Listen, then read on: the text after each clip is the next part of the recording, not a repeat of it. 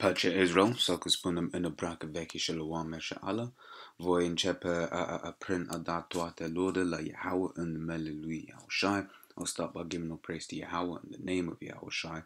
Onoruri duble apostolilor al GMS, double honors the apostles of GMS și onoruri fraților că face lucrarea lui Domnul Dumnezeu în adevăr și sinceritate. And honor to the brothers in the work of the Most in truth and sincerity. Uh, Matei uh, 24, verset uh, 30 la 31. Right, so this is Matthew 24, verses 30 to 31.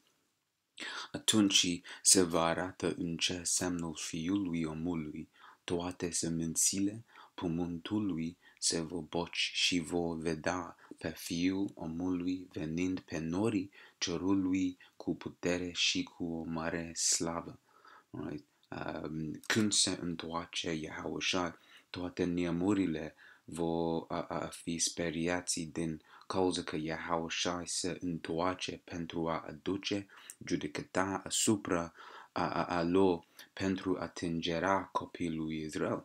Right? So when Yahushua returns, all the nations, uh, uh, uh, you know, will fear, will be scared, right? Because Yahushua is returning to bring judgment upon them for touching, you know, the children of Israel.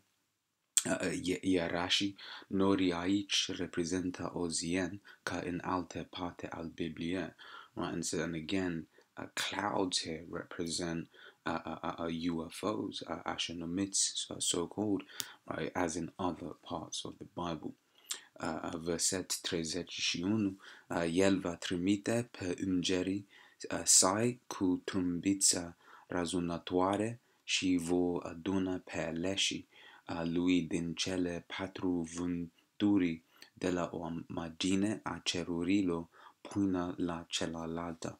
Uh, so verse 31. De asemenea, Iaoșa se întoarce pentru a aduna leșii din întreaga lume deoarece copiii lui Israel sunt împrăștiate între toate neamurile. Right? So also Yahushua is returning uh, to gather the elect from all over the world because the children of Israel are scattered uh, throughout all the nations. Pacha, Shalom.